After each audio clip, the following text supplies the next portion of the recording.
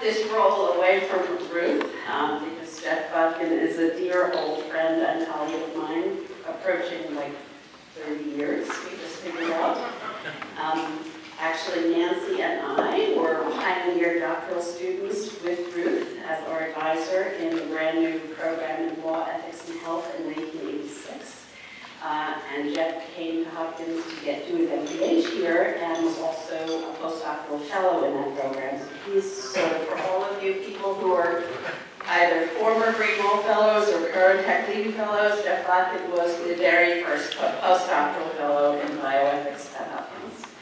Um, he is a professor of pediatrics at the University of Utah and an adjunct professor of human genetics. Um, Jeff and I, one of our uh, early um, actions together, we co-chaired um, a, an informed consent working group of the NIH Cancer Genetic Studies Consortium. So Karen and a few other people in the room uh, did a lot of work in cancer genetics a long time ago. But Jeff is really one of the leading experts in newborn screening that we'll talk to you about today. Um, he received his undergraduate degree from Princeton and his MD from the University of Pittsburgh before coming to Hopkins. Um, as you can imagine, his research focuses on the ethical, legal, and social implications um, of uh, genetics, research ethics, cancer susceptibility, biobanking, newborn screening, and prenatal diagnosis. He currently chairs uh, the Secretary's Advisory Committee on Human Research Protections, uh, and he's also a member of the Secretary's Advisory Committee on Heritable Diseases in Newborns and Children, and former chair of the Committee on Bioethics for the American Academy of Pediatrics. Uh, he chairs the NIH's Embryonic Stem Cell Working Group, and he's also a, a fellow of the Hastings Center. So Jeff comes to us with an illustrious uh, career in genetics and ethics, and particularly newborn screening. So please bring you up.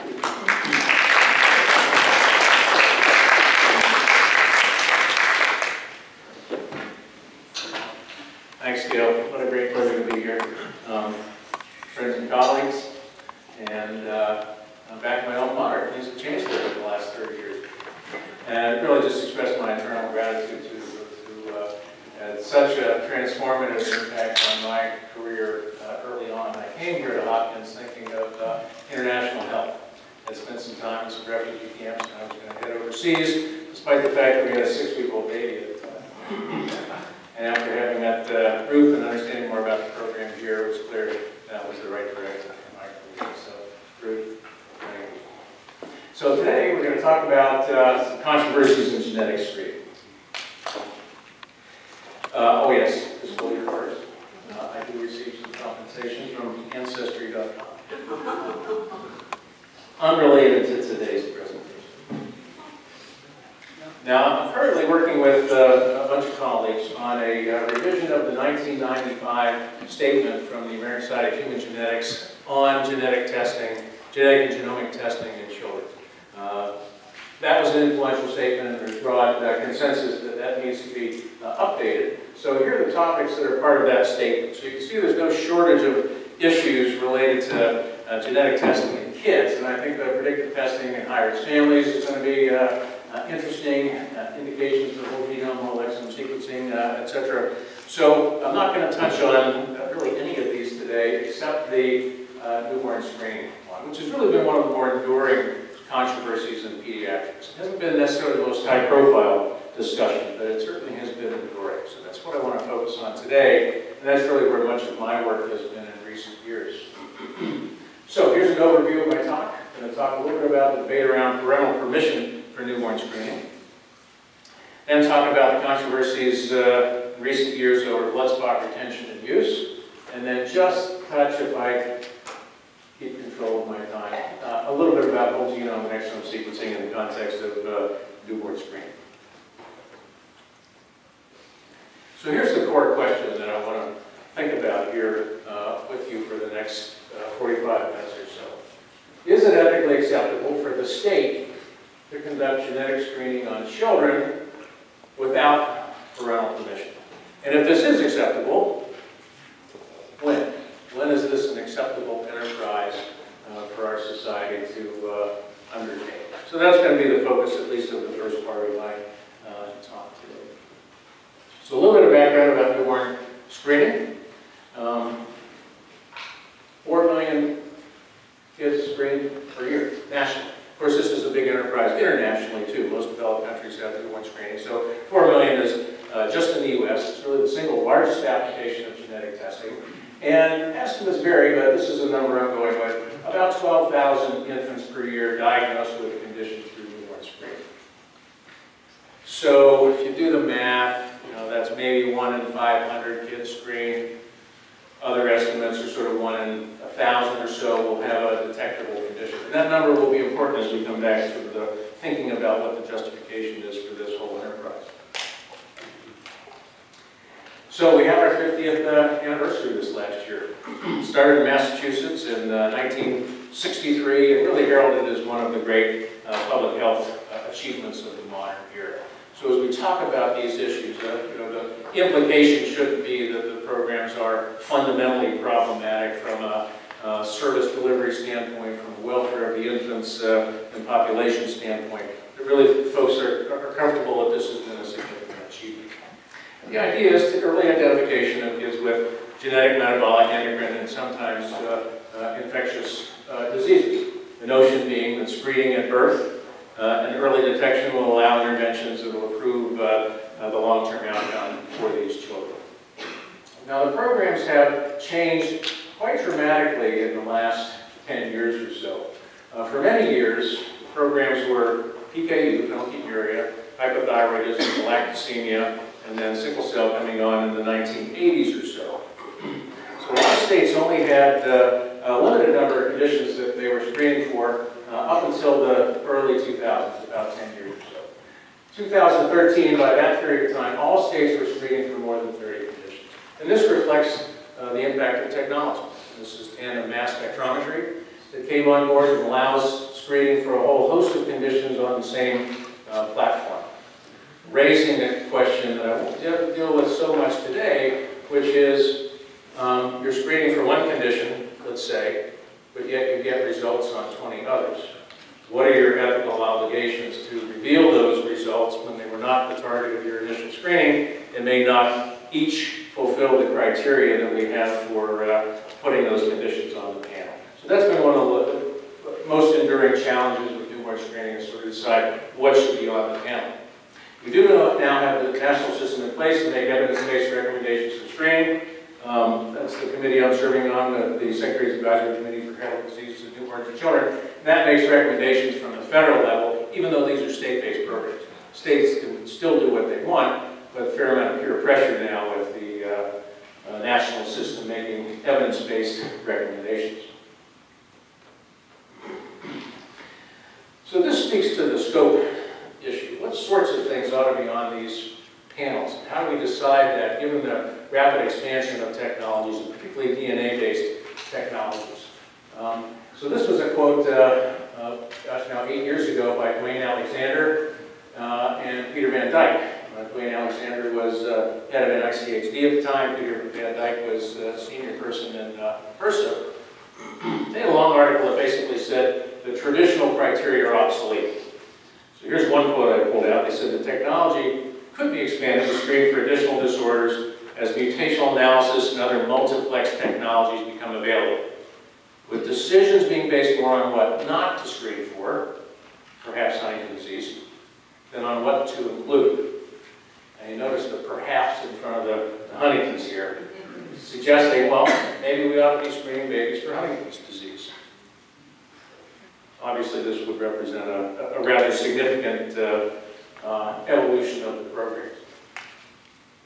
Active discussion right now, as I mentioned, I'm going to try to touch on this at the end of the talk, active discussion of use of whole genome, whole exome uh, sequencing for newborn uh, screening. So we are emerging into that era where folks at least are seriously considering the possibility of um, this level of data acquisition on each baby.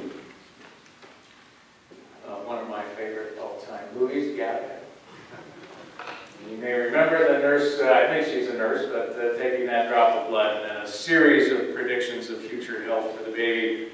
Manic depression, 42% probability. Parents weren't too pleased with the service of that. So let's get to this notion of uh, permission and how that works. So really all states at this point, except Wyoming and the District of Columbia, have so-called mandatory newborn screening programs. Maryland was one of the states for many years that had a uh, consent process. They only had uh, a handful of babies per year for which the parents would uh, decline permission. But it was one of the few states that had an opt-in approach. Uh, in the last couple of years, uh, for reasons that I uh, should know but don't, they've moved away from that and have moved into the much broader club of folks who are doing the opt-out model. Now, most states permit parents to opt out for either religious or philosophical reasons. However, uh, the ability to opt out is not effectively communicated. So, in fact, vast majority of folks don't opt out. Um, this is the brochure in the bag when you've had a new baby uh, approach to patient education. And if you have the uh, time and uh, wherewithal to go through all the stuff at the bottom of that bag, you'll come across some uh, brochures on uh, newborn screening.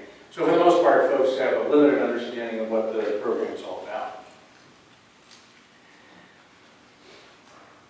Asbjørn Følling, uh, excuse my Norwegian, this was uh, first kids diagnosed with phenylketonuria back in 1934.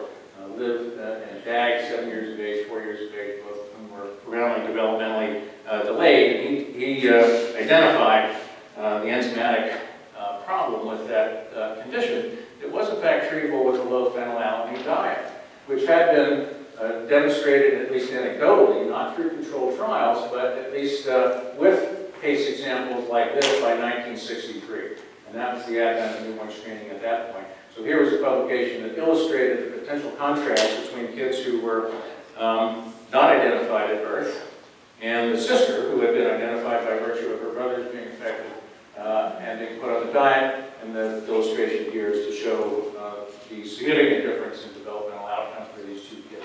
There was a lot of excitement in that period of time to uh, implement this uh, form of uh, screening in the newborn period for the uh, welfare of kids. So here are the arguments in favor, and next slide sort of contrary to this question of mandatory screening. This did arise, and I'll emphasize this a little bit more later, in particular political context. The Kennedy administration, for example, uh, was uh, in Washington at the time. The Kennedys had had a real dedication to uh, mental health disorders, developmental delay, and so they had a real receptive ear at the federal level for uh, addressing this uh, problem on a national level. So the arguments for mandatory screening at the time were, first of all, that there were dramatic benefits for the affected kids. That's really a foundational issue. Uh, the magnitude of the benefits was felt to be so profound that it would be inappropriate, the argument would go, to allow parents to deny that benefit to, to children. Limited burdens and risks associated with screening, just a heel poke. Of course, there are false positive screens and other sorts of uh, adverse impacts that, that can occur, but for the majority of babies, uh, it's a heel stick.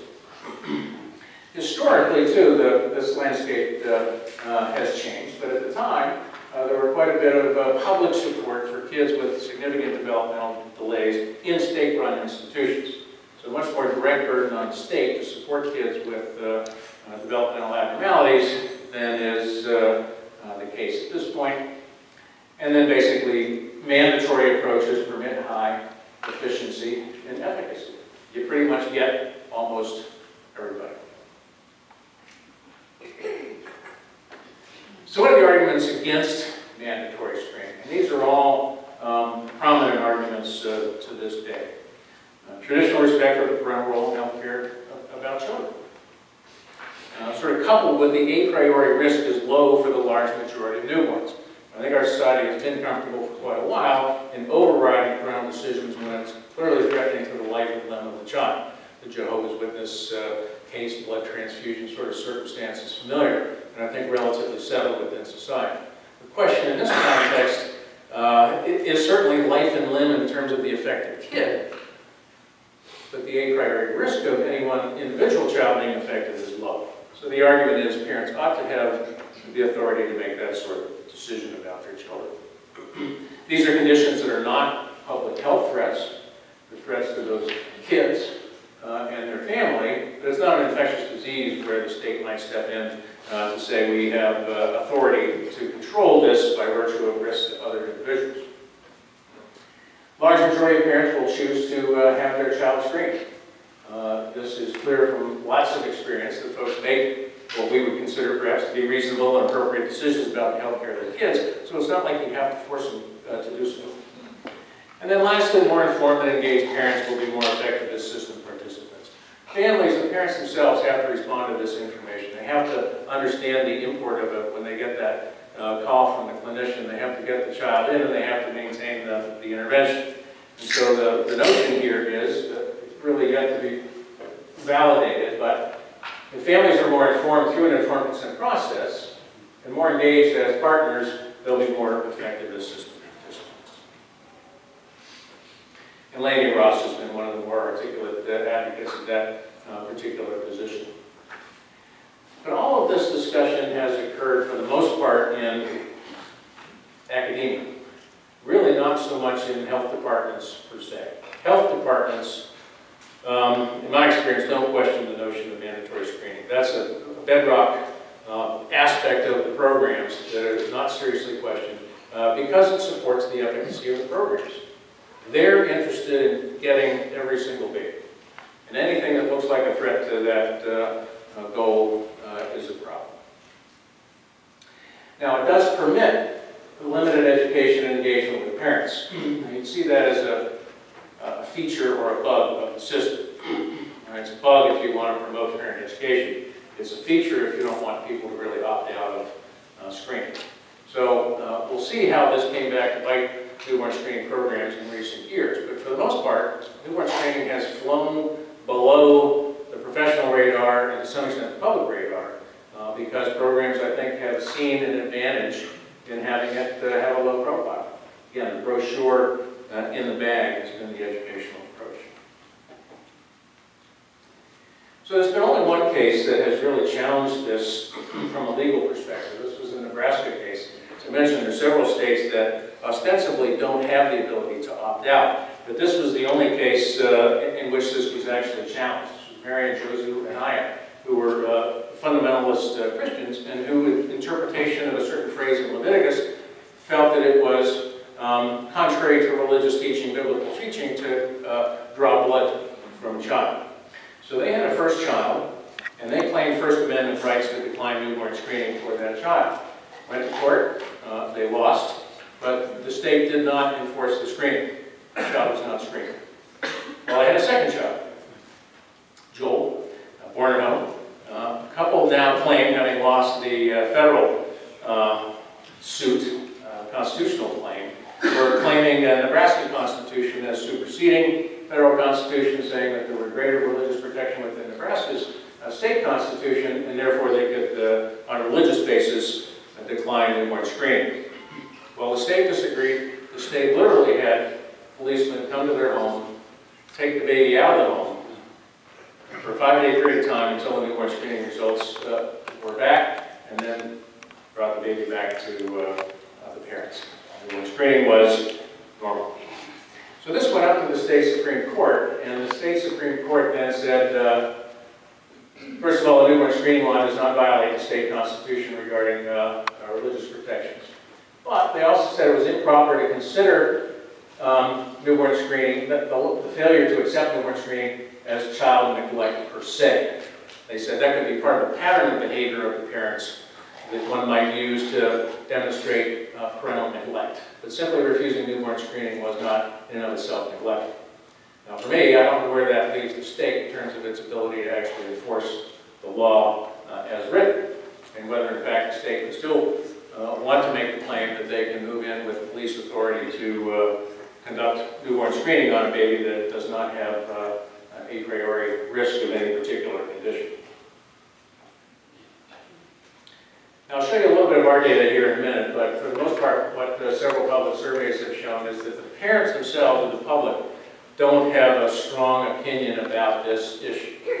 About half of parents like the notion that uh, they would get uh, their permission to conduct newborn screening, and about half of parents will say, uh, no, I think it's okay. Um, and I think a consistent theme here is that people want choice, but whether it's an opt-in or an opt-out is something that's less significant to people as a uh, um, mechanism of choice.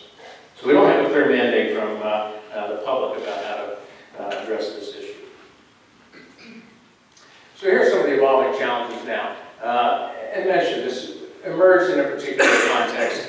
Um, dramatic benefits in PKU and hypothyroidism, uh, and at the time, the reluctance of the medical profession to adopt screening as a standard of care. The American Academy of Pediatrics was opposed to uh, mandatory state screening programs in 1963 because they made the claim that we don't have enough data to know how effective this screening is. There's not been a controlled trial of uh, dietary implementation. We don't know enough to, to take this step. Well, it was enough political momentum behind the screening that it got adopted. And these factors actually still uh, pertain. We still see advocacy groups being quite articulate and quite effective at the state legislative level to mandate conditions uh, prior to the time when there's a good uh, data set to demonstrate efficacy of early interventions. And as mentioned, the state will support children with profound developmental delay. Now that's, that's a picture of the Willowbrook School uh, back in the day. So here's a new context though, that, uh, that are challenging uh, how we're thinking about this. Conditions for which screening provides less dramatic benefits. There's no um, surprise at the start of PKU, really one of the most dramatic uh, improvements through dietary manipulation of a, a, genetic condition. There aren't very many things like that. Genetic conditions are uh, notoriously difficult to treat in many circumstances. And these conditions are rare enough that it makes it difficult to develop a good data set to demonstrate efficacy because you've got cases scattered uh, randomly across the country. So some of the discussion now around conditions that aren't on but yet raise these sorts of questions. Fragile X, for example. Nothing you can do that will um, fundamentally change the course of that, but you can do early intervention and potentially change uh, some of the developmental outcomes from the kids much less dramatically than uh, um. Spinal muscular atrophy, SMA. These are kids who, uh, with type 1, will typically die by the time they're about three years of age. There are now some pharm uh, pharmacologic interventions that are promising that suggest that it's possibility that we may be able to help kids live till they're four or five years age. Is that the sort of benefit that warrants population screening? And particularly population screening on a mandatory basis. And where would we draw the line in that vast gray area between PKU and SMA or Fragile X in terms of the right criteria to include within such a uh, context? So discussion also whether benefits to parents are sufficient for screening infants. Reproductive risk information so that parents don't have a second affected child before the first child is diagnosed. And then uh, um, elimination of so-called diagnostic odyssey. Families go through very difficult times with these kids with rare conditions um, to find the right diagnosis. And this uh, screening would eliminate that. Even in the absence of something to do for the child, you would eliminate that burden on families as they uh, uh, search for the right answer for their particular child. Also, what we're seeing now is bedside testing capabilities. And this is going to continue to explode. Uh, now, cyanotic congenital heart disease is on the recommended uh, panel, uh, but there was a great deal of difficulty. We made that recommendation from the Secretary's Advisory Committee, and the states just uh, hit the ceiling to a certain extent by saying, well, what's the role of the state health department when you're doing pulse oximetry screening in the hospital and reporting those results directly to the family? What's the role then of the state and the mandate that uh, might occur from uh, state involvement? And certainly if we get the DNA-based platforms where you might actually be able to do what's illustrated in Gattaca, get a report within four hours, um, what's the role of the health department uh, uh, then? So here's a quick history of the uh, debate. Um, National Academy of Sciences uh, meeting in 1975, or committee in 1975 recommended that newborn screening not be mandated by law. So this is 12 years after the advent of the programs. It had gone national by this point. Institute of Medicine report in 1994 reported mandatory offering of newborn screening. Make the mandate for the clinicians, make them offer it, but don't necessarily mandate it for the uh, recipients, the families. Uh, Committee on Bioethics in 2001 uh, chairing the committee at that point, and it literally took us uh, four years to get this statement through the academy, largely based on uh, disputes around this permission issue for newborn screening. What we eventually negotiated was a uh, uh, support for uh, research on an informed consent process. How does how would informed consent work uh, functionally? And would folks, in fact, um, decline newborn screening? 2008 Presidential Council uh, on this, uh, specifically on newborn screening. And they say that the mandated tests, uh, the mandates are okay, but they should be for uh, only conditions that fit strict criteria. And that we ought to have a second tier, voluntary screening for other tests. So a two-tiered system where you get permission for some and not permission for others. 2013, uh, AAP, uh, American College of Medical uh, Genetics statement. They teamed up this last year for uh, their statement. Uh, Lainie Friedman Ross was the uh, chair of this group, and they did um, support the mandatory offering of newborn screening. So again, not mandatory for parents, but mandatory for clinicians to offer. After education counseling, they said parents should have the option to refuse, but they weren't saying how the permission should be documented. They didn't want to go so far as to say you had to have a consent form, because I think everybody recognizes that the consent form approach adds a whole new layer of complexity to the process. But they said you need an affirmative agreement, basically, by parents to go forward. So this is, uh, this statement something else that's sort of flown a little bit under the radar. Uh, I would think this would have created quite a bit more stir within the um, public health community, uh, but it hasn't. Perhaps because the statements were a little bit ambiguously worded. So here's my perspective right now. You can tell from my, my earlier comments about the Academies Committee, I was more of a supporter of uh, informed permission at the time than I am uh, now. I think there's no question that parents have a right to be informed about testing for their children. That's a, that's a bedrock principle. Information should be out there about that. Exactly what that information might uh, consist of, of course, would be uh, subject to further discussion. I do think programs may be more effective if parents are better engaged. The immediate newborn period, though, uh, is really just a terrible time to obtain informed consent uh, about uh, complex testing for low-risk events. Now babies are staying a much shorter period of time than they did uh, uh, traditionally. Uh, parents have so many other issues that are immediate import to learning about that baby, getting to know that baby, healing themselves, that this is simply not a time where I think an effective informed consent process can be undertaken.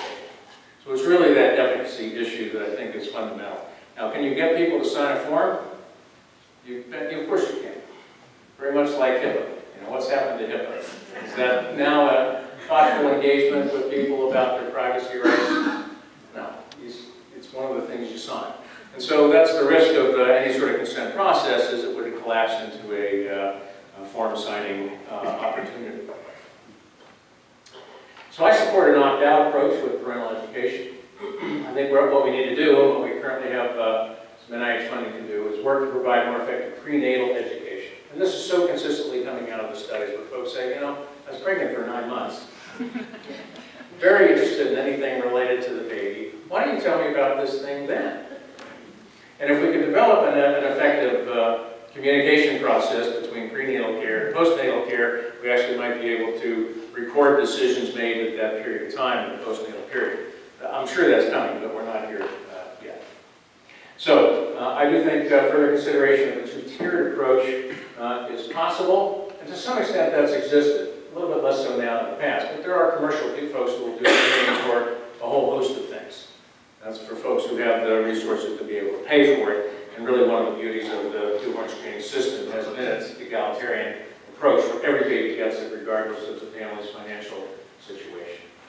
Uh, I think uh, the ASHG statement um, is uh, still in evolution, but I'm pretty sure this is uh, uh, what it's likely to say. So I think we will see a difference between uh, ASHG and the AAP on this particular issue. All right. So let me talk a little bit about residual blood spots.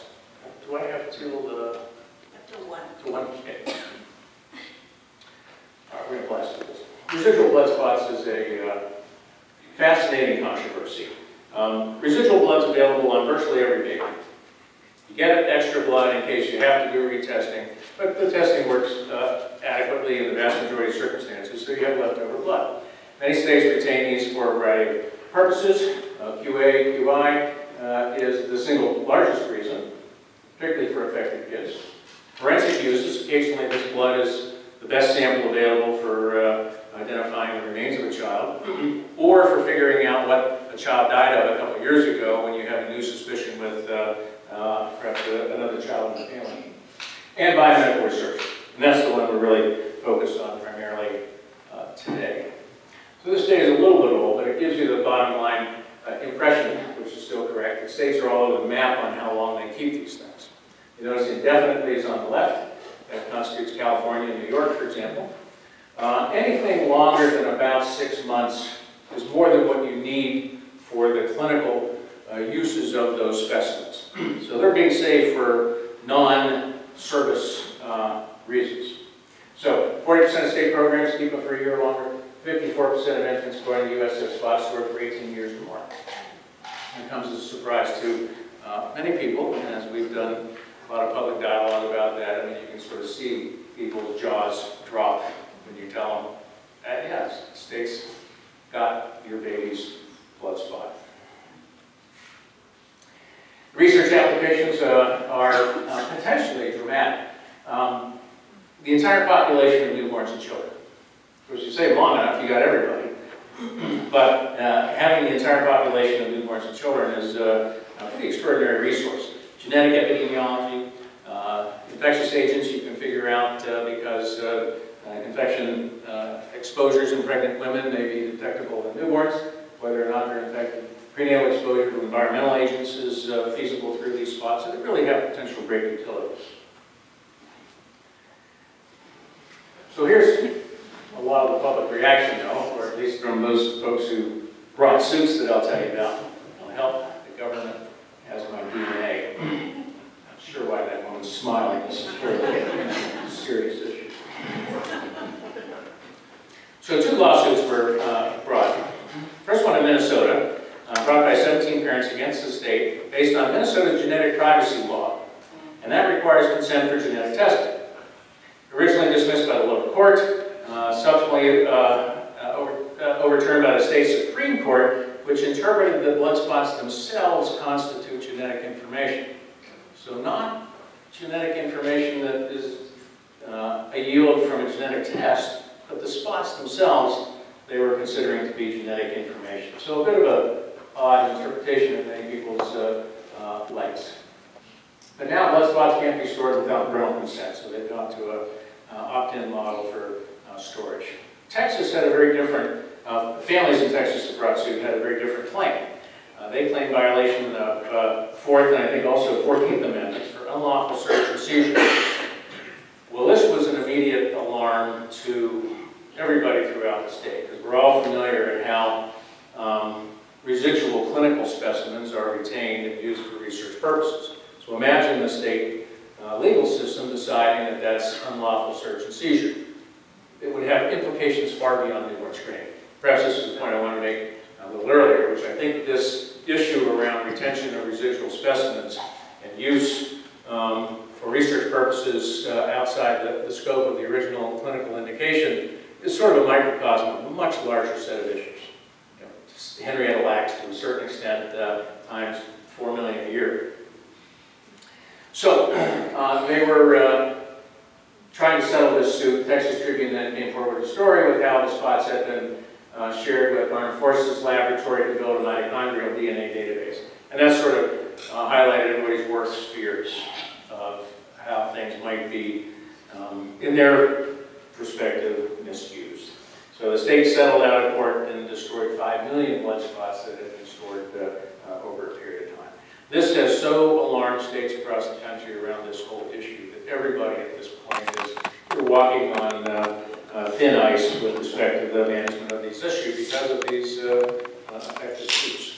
So here's a study that our team did in Utah, and I funded a study to look at a variety of different issues related to this storage question. I'm going to give you a little bit of the data that we acquired. We had a couple of questions.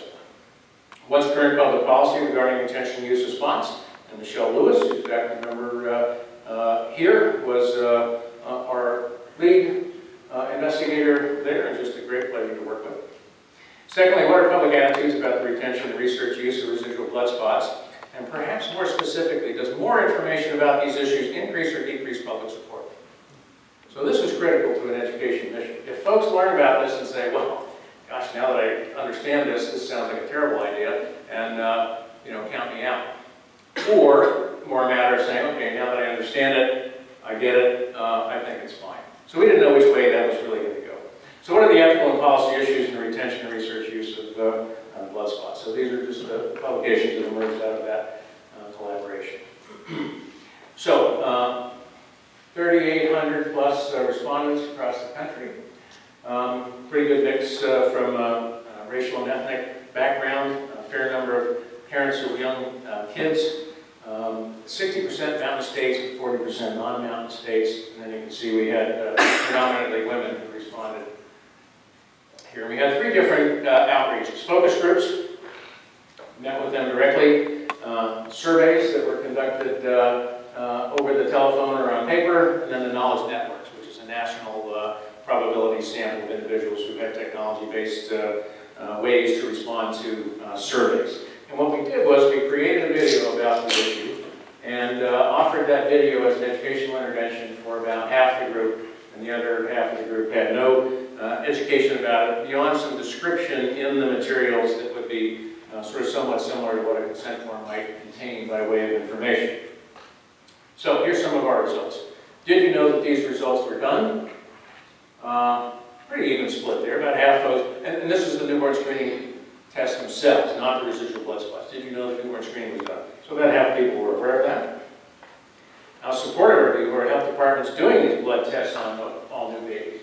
Well, you can see the dramatic level of support. It's very supportive on the left, somewhat supportive, somewhat not supportive, and then not supportive at all. So uh, really 93% of folks were um, either very supportive or somewhat supportive of newborn screening. So this is quite consistent. Folks understand the importance of these um, tests. So here we get into the retention issue. Do you think it's all right that these tests are done without the permission of the parents? Clearly, the single largest category was definitely not. But 25% said definitely all right, and then a smattering in the middle. So this is sort of a, this is a kind of public policy challenge. How do you use um, public opinion to uh, help guide policy uh, development when you have this sort of spectrum, and your single largest group said this is just terrifying. How concerned would you be if the health department saved the leftover blood samples from babies after the tests uh, were done? So 25% again, not at all concerned, only a little concerned, uh, 30% very concerned. Some health departments keep samples only, this is the information we provided to the response. Some health departments keep samples only if parents agree to this by signing a form. Other states, in, in other states, all samples are kept unless the parents contact the health department and say that they want their sample destroyed. So that's the opt-in versus opt-out uh, choice. What do you think is the best thing to do? So clearly, uh, the majority of folks, strong majority here, said we like the consent form approach.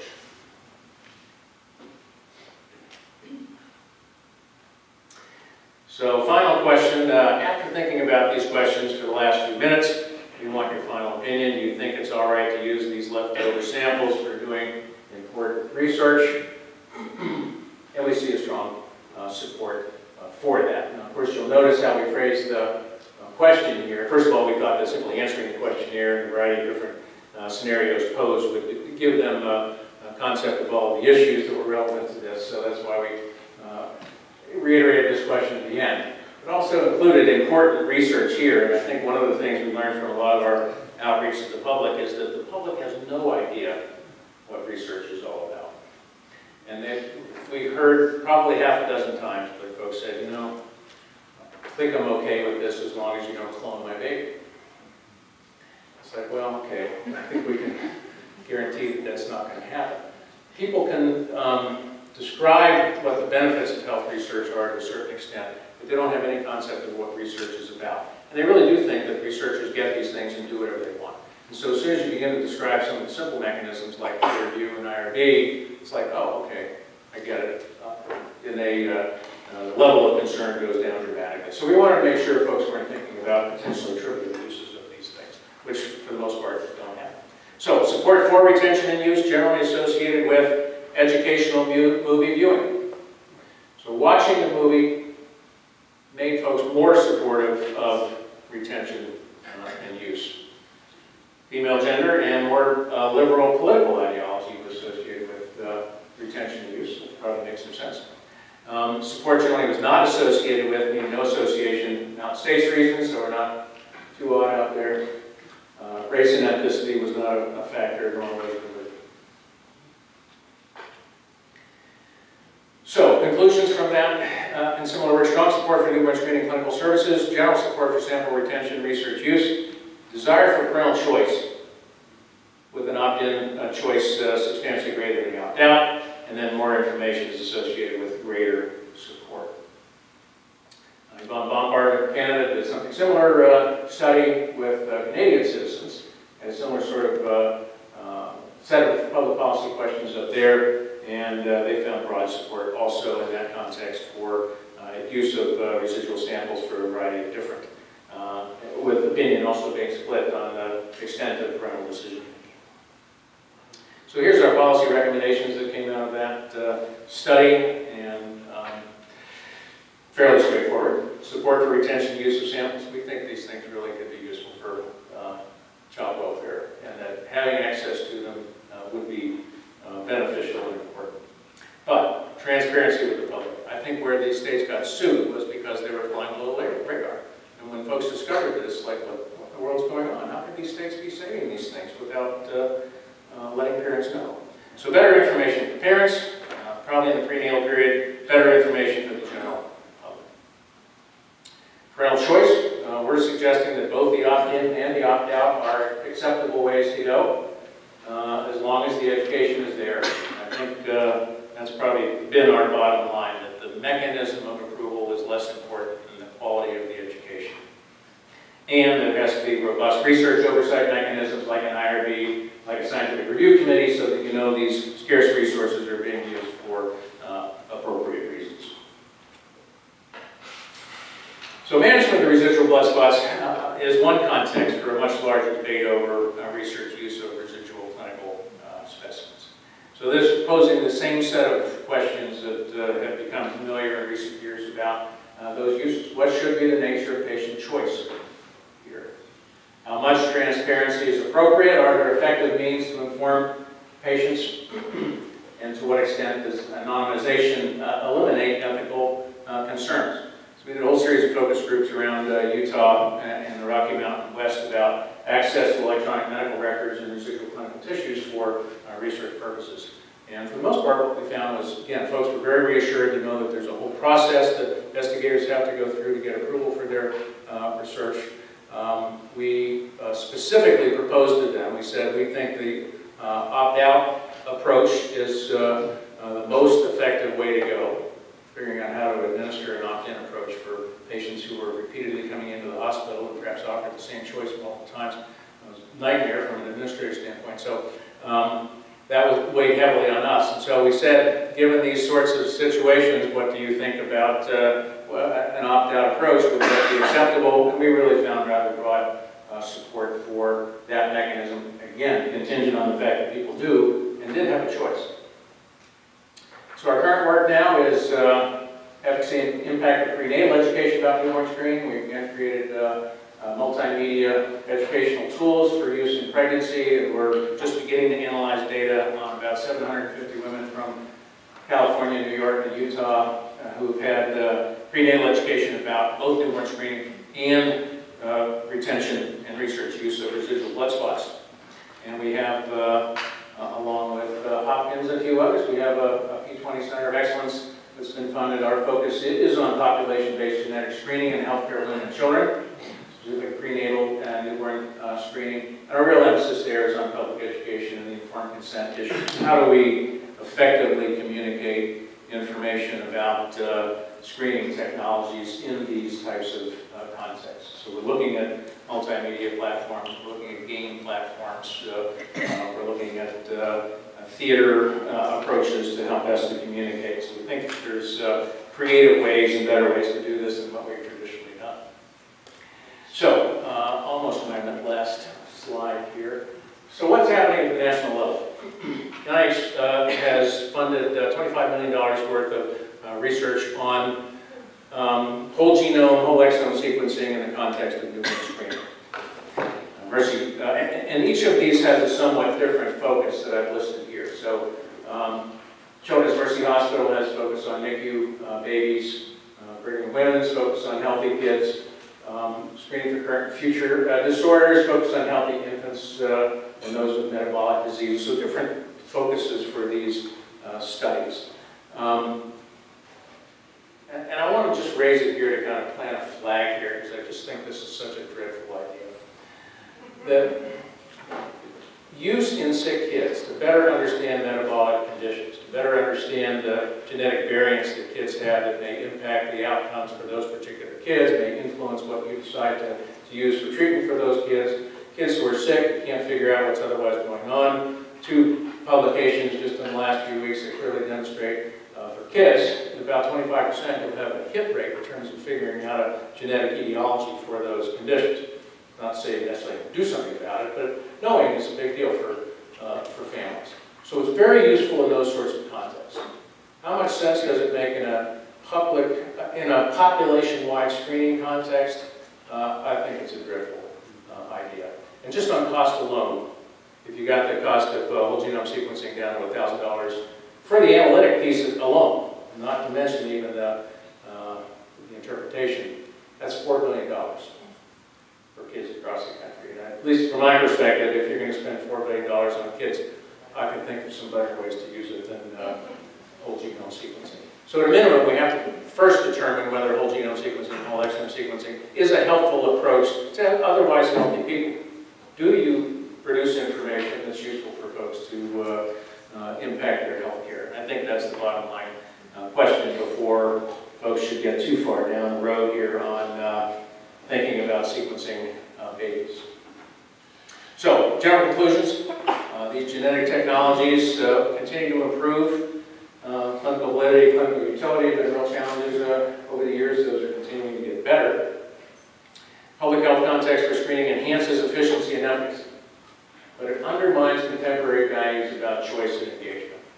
I think as we see a lot of different types of research moving from the more traditional uh, investigator research participant relationship in a, uh, in a clinic room to population, big data, hospital-wide, uh, nationwide sorts of data sets, we're increasingly removing ourselves from a context in which the original consent paradigm uh, works the best to the extent that it uh, to the extent that it works. So I think this is one of the contexts in which we're challenged by this, sheer volume uh, and complexity of the services and how to best uh, promote choice in a meaningful way.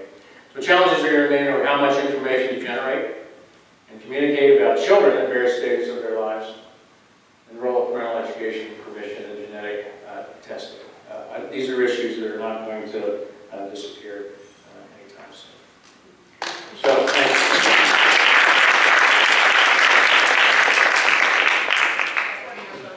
Yes. Yes, it's done. I built this outside of Baltimore. Yes. So Jeff, great uh, talk, thank you, Alan. Uh, Really great talk, I I loved it. Um, So I'm going to ask you a question that I have to admit is um, also a question I ask myself sometimes. So um, you've done surveys to try to understand people's attitudes about these really tough questions. And we all know that the way you ask a question can be so relevant to what answer you hear. And to ask people, for example, you know, do, do you think we should ask your permission before we look at your medical records? Most people are going to say, duh, of course. Yeah. And if we frame it really differently, like, do you think that doctors should do even more to try to figure out what kinds of people are at greatest risk for certain kinds of pro- problems? they say, yeah, you really should. And I'm, I'm wondering, just as an example, if if people were shown those pictures that you showed us from the early journal of the um, older child in the family who didn't have the PKU diet and the younger girl who did have the PKU diet and said, you know, we've now been doing the screening for X number of years and it used to be that all kids got this screening, but we're thinking about having it so that parents, you know, have to choose. Do you think all kids should still get it, or do you think parents should choose? And I know that that's a very stark alternative framing, but the only reason I raise this is that I, in exactly the same way, do surveys and draw sort of morally relevant conclusions from it, and it's so complicated to figure out what people think. Yeah. So I wanted to know what you think about that, given that you're also making recommendations.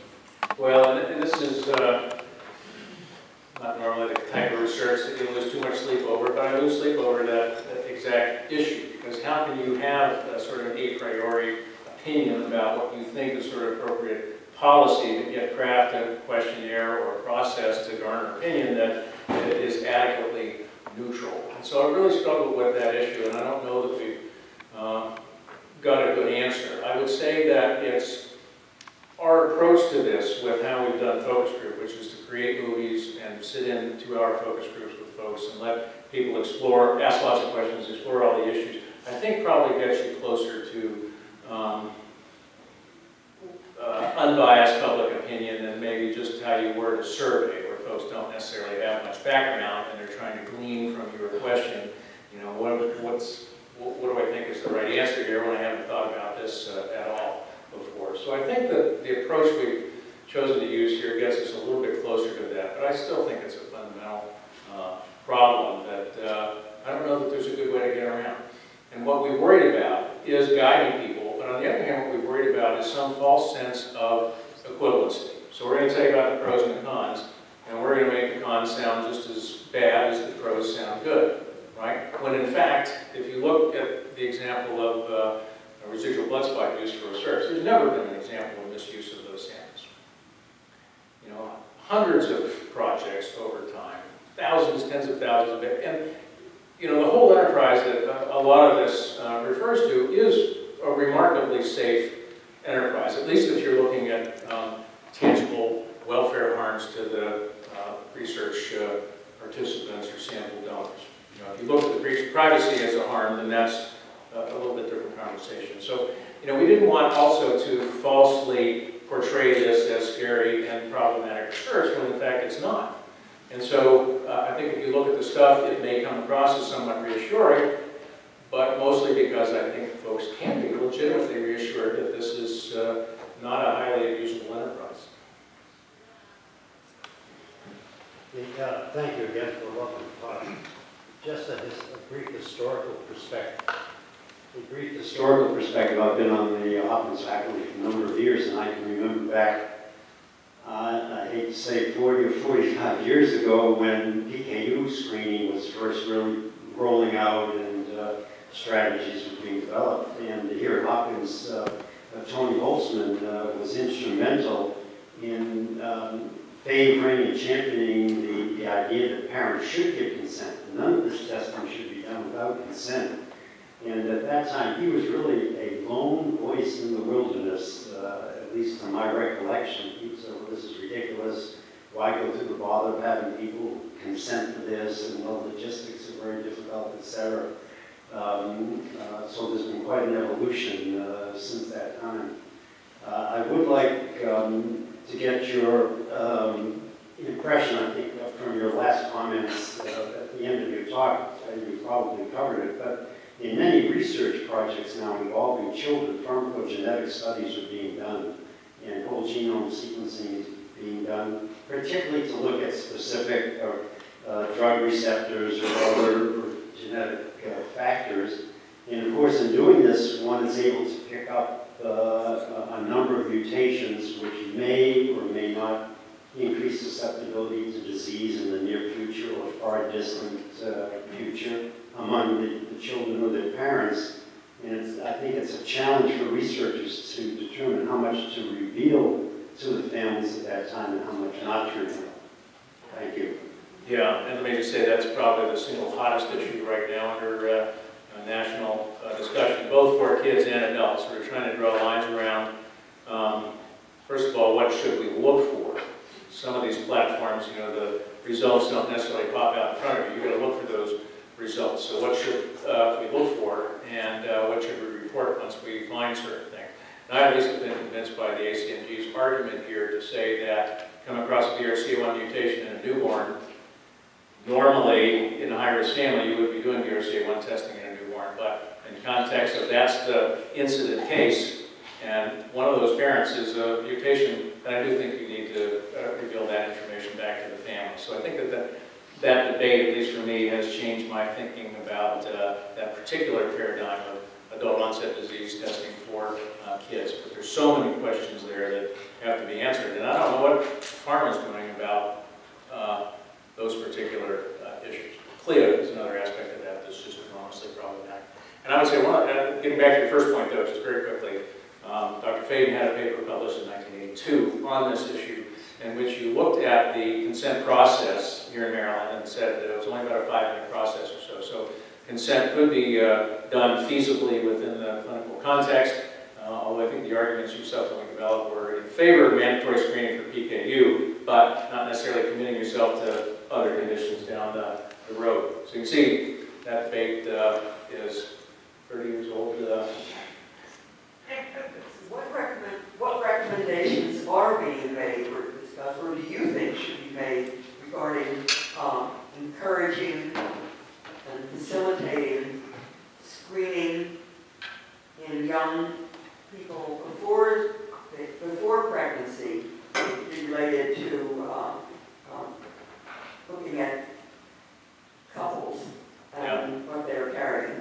Yeah, and this is another uh, exploding area with chips being developed now that carry multiple um, variants for carrier status. And uh, I think it's one of the most problematic domains because I think the notion of carrier status is opaque. I don't think people in general population uh, have easy access to the distinction between being a carrier and being affected with the condition. And of course, sickle cell uh, experience from uh, 30 years ago or so sort of illustrated that problem. So I think this is a domain where the technology is being heavily uh, pushed by the technology developers and to some extent by the um, obstetric faculty long before we have an effective way to communicate these sorts of results to, to couples and help them understand the implications. I mean, the simple scenario where you have a woman who comes up with five positive uh, findings on rare carrier states, but partner didn't want to come in. What, what do you do with that information? I think that's uh, seriously problematic, especially we're uh, doing some work with our Science Learning Center, uh, very preliminary at this point, and actually our gaming uh, arts folks at the university. Uh, University of Utah is one of the stronger uh, gaming arts departments in the country. So to think about how to make those sorts of results much more accessible to people, but I think we're going to see some serious problems in the very near future about carrier screening specifically. That kind of actually um, relates to the question that I had, which was whether you've learned anything so far in your empirical work that kind of speaks to the, the issues that might arise if you push the newborn screening education into the prenatal period as well, at a time when there's a bewildering array of new testing options like NIPT and carrier panels that are already being offered. And then sort of, you know, as, as kind of related to that, you know, the fact that there's really no limitation right now on industry in terms of what they can push into the clinic prenatally, so that there could be, you could imagine a time quite soon when people will be offered testing prenatally that, you know, the same testing they might get from the state newborn screening program. So, I mean, is there anything that you've learned um, about how to communicate about all of that during Yeah. a very limited period um, using technology or otherwise? Well, probably only a couple things, and I would say we've learned enough to know what uh, works, I think we know what doesn't work. Um, We've done a fair amount of work with- in this particular arena uh, on the general assumption that I think has been well proven, that folks don't need to know everything. And you will hear this not infrequently from folks who are metabolic clinicians, if they really want me to sit down and explain galactosemia to families, that's, that's not going to happen, right? Folks don't need that information, they don't want that level of information, they want a couple of core points. And We've tried to articulate that in a recent publication with the residual blood spots. So there's really half a dozen things that folks want to know uh, to give them adequate background to make a choice. So that's pretty key. And that then um, significantly unloads what looks like an overwhelming obligation to uh, provide education. Then I think you have to provide the education when people are ready to hear it. And it sounds so straightforward, but the whole notion that, you know, we have to convey this stuff in the context of a clinical visit when you've got 15 other things to cover in the span of 10 minutes, it's not going to happen. Um, and so people have uh, lots of other times and opportunities in their lives. And mean, the, lowest hanging fruit is the time people sit around the doctor's office waiting for something to happen. Right? And they're looking at People magazine rather than what might be a more uh, educational approach to uh, what's about to happen. So I think if we use these much more accessible platforms of multimedia, game, uh, that folks can be, uh, can access when they have the time and interest do so, that seems to me to be a wonderful window. It may well be the sort of thing where you have an appointment tomorrow, we're going to send you an email out tonight to say, why don't you look at this video, this will help you understand some of the issues that we want to talk about tomorrow. That's part of the issue with the newborn screening thing, we talk about moving it into the prenatal arena. Obstetricians say yes. I mean, literally, it's, that's not their obligation, they see, they have so many other things that they think are uh, important for their um, professional, uh, this isn't, getting this on the agenda is going to be a huge challenge. So I think we have to go around that uh, constraint. So so we're raising the Minnesota, Texas case, If those, if every state had a similar lawsuit, Would we have thrown out, you know, millions and millions and millions and millions of blood spots? If, you know, you, you use that legal argument that I think is an argument, it's a legitimate argument.